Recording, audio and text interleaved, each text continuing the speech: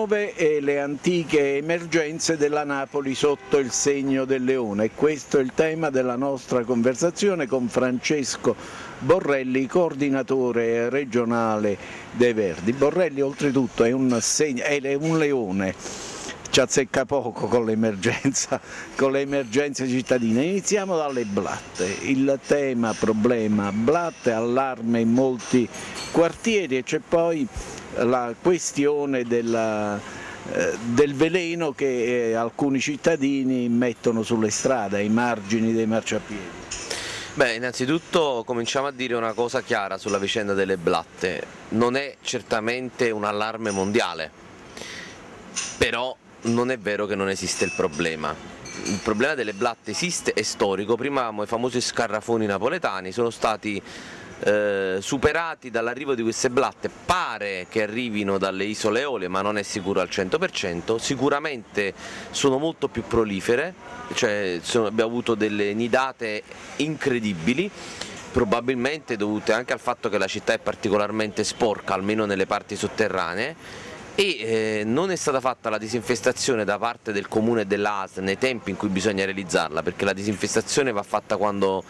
si realizzano le nidate quando si fanno le uova, non adesso, adesso sono molto più resistenti agli agenti chimici e quindi in molti quartieri che noi stiamo monitorando, da Fuorigrotta, San Ferdinando, ad esempio il Pallonetto di Santa Lucia, eh, la stessa Piazza Carolina, alcune realtà, alcune istituzioni sono auto-organizzate perché l'ASL e il Comune non sono state ancora in grado di intervenire, faccio un esempio su tutti la Prefettura che aveva le blatte che entrava dentro i suoi uffici di rappresentanza a Piazza Carolina, eh, Scampia, San Giovanni, a Teduccio, eh, San Giovanni a Teduccio, insomma tanti quartieri sono in grande difficoltà, soprattutto ovviamente i quartieri dove ci stanno molti bassi, e cioè dove la gente facilmente eh, ha la possibilità che questi animali gli entrino dentro casa. Rimedio il veleno sulle strade è un'operazione legittima? Beh, innanzitutto io suggerisco, lo so, qualche, qualche, animalista mi ha criticato in questi giorni perché sto supportando e segnalando e aiutando le istituzioni nelle deblattizzazioni che sto uccidendo degli animali, vuol dire diamo un limite pure all'animalismo, nel senso che eh, difendere le blatte, che, che siano anche loro creature di Dio, insomma in questo momento sono tante, quindi bisogna ridurle un pochettino perché sennò diventano un problema. Non sono animali aggressivi, ad oggi non abbiamo, eh, almeno ad oggi non abbiamo eh, situazioni per cui abbiano portato delle infezioni all'interno delle famiglie. Io suggerisco se, se, il numero di blatte non è eccessivo, cioè se è qualche piccolo caso di utilizzare il buon vecchio metodo della nonna, cioè schiacciarle. Eh, mentre invece se il caso diventa più complicato è leggermente costoso, eh, ma se non si vuole aspettare l'arrivo del comune è meglio chiamare sempre personale specializzato perché non soltanto quando la deblattizzazione viene fatta con metodi fai da, sé, fai da te può danneggiare o creare dei problemi agli animali, ai randaggi, ma anche non randaggi, animali che vengono portati al guinzaglio da qualche parte e che annusano, mangiano questi agenti, ma può creare problemi anche ai bambini e a noi stessi, perché sono comunque eh, degli agenti chimici fortemente aggressivi e fortemente dannosi alla salute. Sicuramente però eh, questo allarme è stato sottovalutato e non è stato fino ad oggi ben gestito, come d'altronde sappiamo tutti che eh, sta riemergendo non in modo drammatico ma in modo serio il problema dei cumuli seri in molti quartieri, sempre gli stessi di spazzatura. Veniamo al tema degli, eh, degli abbandoni di animali umani e non umani, si parcheggiano gli anziani negli ospedali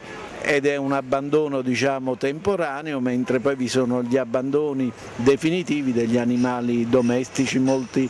padroni dimenticano che l'animale eh, che si ha in casa fa parte integrante della famiglia. Eh, la regione Campania ha un triste primato, è la regione dove sta il maggior numero di abbandoni, ogni anno dove sono il maggior numero di animali vittime di azioni criminali o di atti di violenza. Eh, noi stiamo tentando da anni di non, più, non avere più questo triste primato, ad oggi non ci siamo riusciti. Io penso che mh, mm, bisogna arrivare a delle denunce forti eh, anche dal punto di vista penale, anche con la detenzione per chi maltratta gli animali, eh, perché ehm,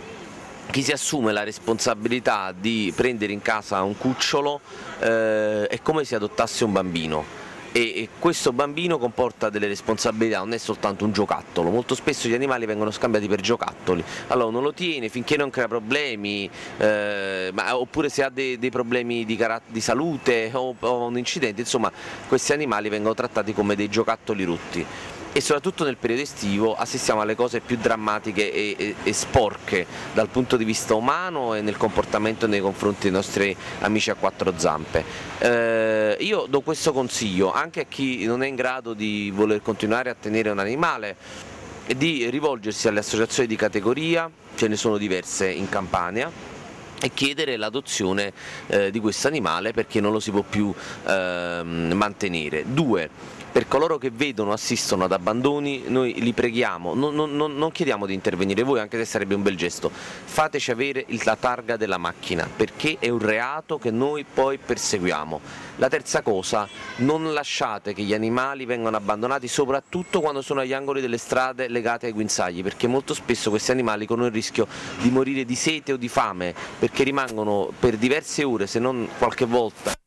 per giorni attaccati a quel guinzaglio eh, ovviamente soffrono e sono esposti al sole e alle intemperie. Eh, l'abbandono degli animali è una delle cose più brutte che si possa commettere nei confronti non solo dei nostri amici a quattro zampe, ma anche nei confronti dell'umanità, perché creiamo un atto di violenza gratuito nei confronti di animali, di persone indifese. C'è poi la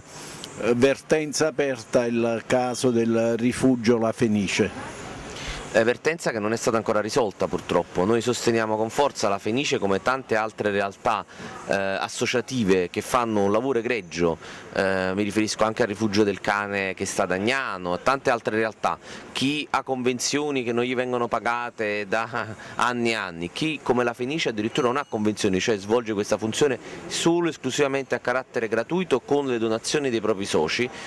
e voglio dire, se il comune non li mette in condizione di operare, noi ci troviamo in due condizioni drammatiche. La prima è che questi animali corriamo il rischio che possano non avere di che mangiare, di che sopravvivere. La seconda è che questi animali vengano rimessi in libertà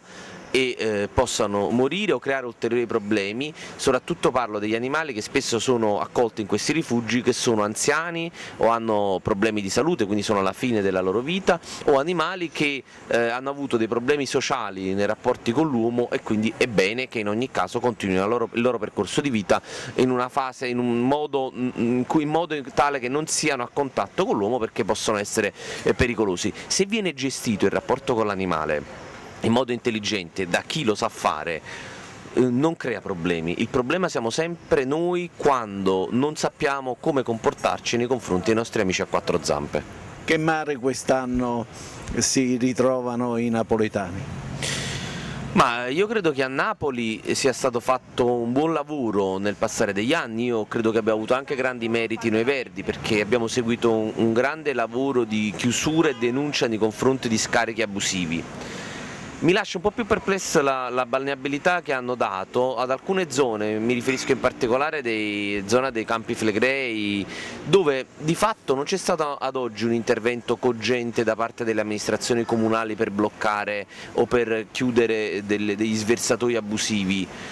E, e, quindi non riesco a capire com'è possibile che senza interventi alcune zone siano risultate balneabili. Non a caso noi ci troviamo in questi giorni in zone anche vicino al depuratore di Cuma che noi vogliamo sapere se è inquinante o meno, se funziona bene o meno, perché non l'abbiamo ancora capito. Quello che noi vediamo che esce dal depuratore, abbiamo fatto diversi sopralluoghi in queste settimane,